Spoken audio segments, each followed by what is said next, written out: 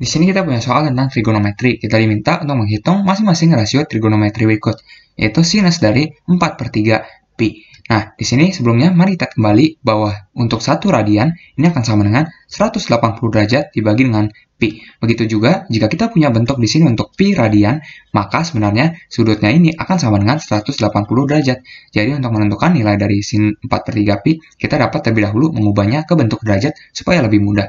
Jadi di sini kita tahu bahwa untuk pi radian ada 180 derajat, yang berarti untuk 4 per 3 pi radian, maka kita tahu bahwa ini akan sama dengan 4 per 3 dikalikan dengan 180 derajat, di mana kita punya bahwa ini akan sama dengan 240 derajat.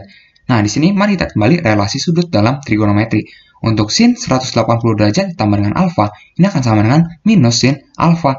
Oleh karena itu, jika kita punya di sini untuk sin dari 240 derajat, di mana dapat kita urai menjadi sin dari yaitu 180 derajat ditambah dengan 60 derajat. Maka kita tahu bahwa ini akan sama dengan minus sin dari 60 derajat. Di mana karena sin 60 derajat adalah suatu sudut yang istimewa, berarti kita tahu di sini nilai sin 60 derajat adalah setengah akar 3, yang berarti minus sin 60 derajat adalah minus setengah akar 3.